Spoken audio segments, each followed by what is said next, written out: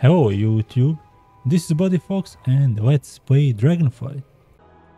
Last night after my Sarkareth kill, I got this item, Void Touched Curio. Uh, this is a personal loot and you can trade it with other people who participated in boss kill. You have the chance to get this item on all difficulties after you kill Sarkareth and a loot the boss. Raid Finder, Normal, Heroic and Mythic. Some people are saying it's a random chance, some people are saying you're getting one per boss kill and then one more for every 10 players who participated in the kill. I don't know. Anyway, let me show you the location where you can go and exchange it. The Isles have awakened. And here is also Norzko the Proud.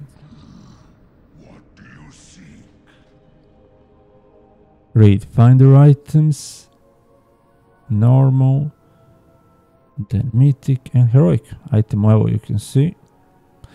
I'm going to buy a chest. Let's replace that uh, tier set piece from Vault of the Incarnates.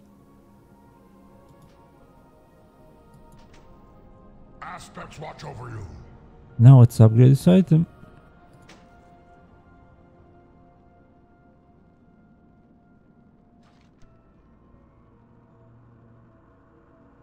Thank you for watching this video. If you did like it, remember to hit that like button and also consider subscribing. Help me to reach 5000 subscribers.